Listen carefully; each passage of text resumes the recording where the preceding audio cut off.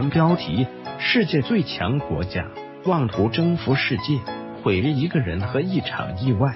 在几千年人类文明史中，大大小小的国家层出不穷。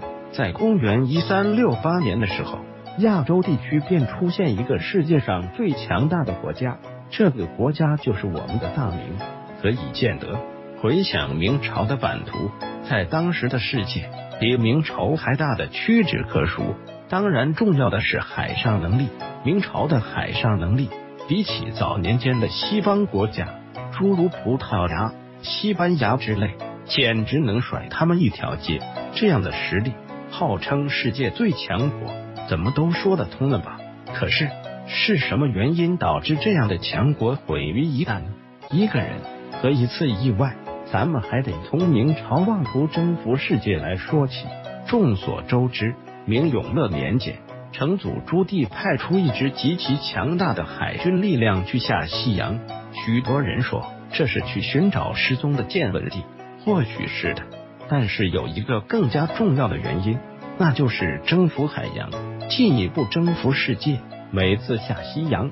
这只船队都会带来一大批到中原参拜朱棣的使臣。不仅如此，他还灭了东南沿海的海盗，强硬干涉爪哇国的内政，把不愿臣服的西兰国王抓来明朝进行审判。这哪里是友好往来，简直就是一统天下的劲头。说到底，这是成祖朱棣的心思。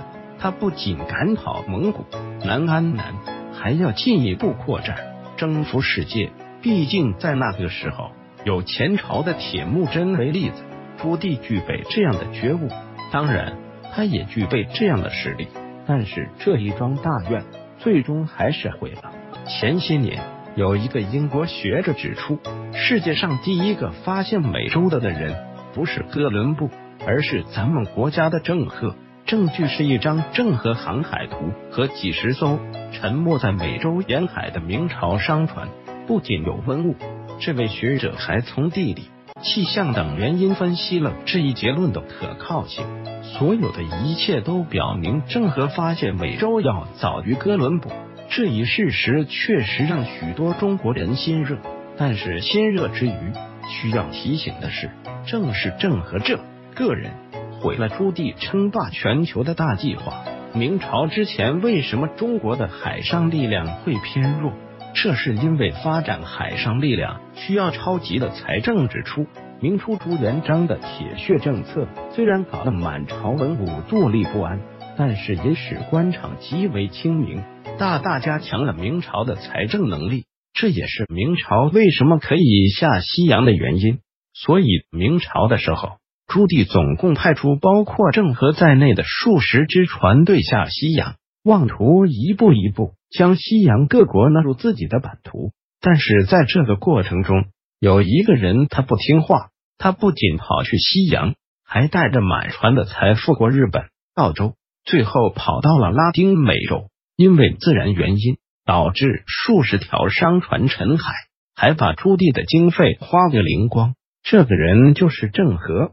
第一个到达美洲的中国人，几千号人，上百艘船只从亚洲跨越太平洋跑到美洲，可以想象这在当时是一笔多么大的开销。一四二零年，南京皇宫突然发生大火，奉天、华盖、锦深三大殿被烧光，这使朱棣对自己的所作所为产生了畏惧，怀疑是上天在警告自己不要妄图尊大。尤其是劳民伤财，花费过巨，所以对这航海之事就心里放松了不少。现在看来，这不过是一场意外而已。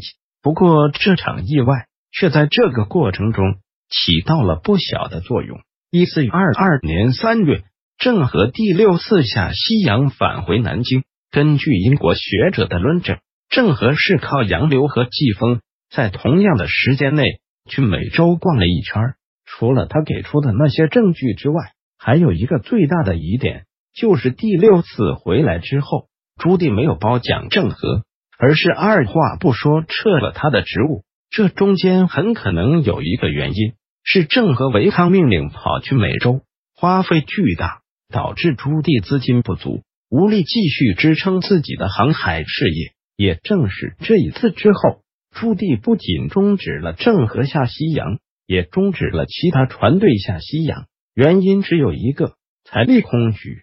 之后，明朝航海的事情就算是告一段落。紧接着，郑和第七次航海死于途中，新皇帝即位，从此明朝就走向了闭关锁国的路线。也正是这种闭关锁国之举，导致这个世界级的强国渐渐落后于西方的各个国家。返回搜狐，查看更多责任编辑。Thank you.